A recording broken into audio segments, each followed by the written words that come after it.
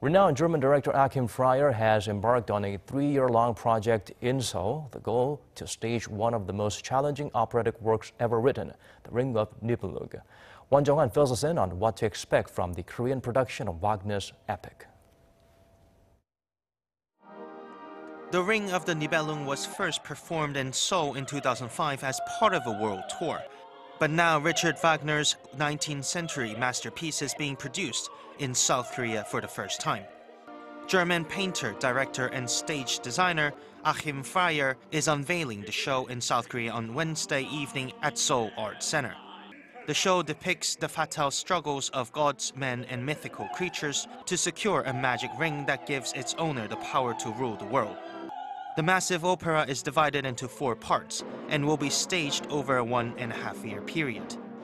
The prelude opera The Rheingold will be performed this month, and the remaining three acts, The Valkyrie, Siegfried, and Twilight of the Gods, will in turn be staged in June and December next year and May 2020, respectively. Freyer has produced versions of the opera in Germany and the US, but he says the Korean version is different from his two previous productions. When I do a piece, I, it is very new and all is other I cannot repeat. Why? Uh, we are in Korea and it's a total other situation and total other impressions.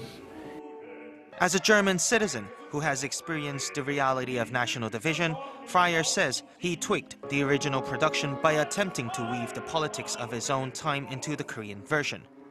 And to try to show an authentic image of peace and unification, the production's organizers say they are trying to invite North Korean singers to take part. We are currently in touch with Pyongyang through the North Korean embassy in Berlin. We couldn't cast North Korean singers for the first part of the performance since it overlapped with the 70th anniversary of the nation's founding. But we will keep trying as there are more years left for them to join our series. The first part of the opera will run until Sunday, before a six months preparation period to showcase the second part of the epic in June next year. 원정환, 아리랑 뉴스.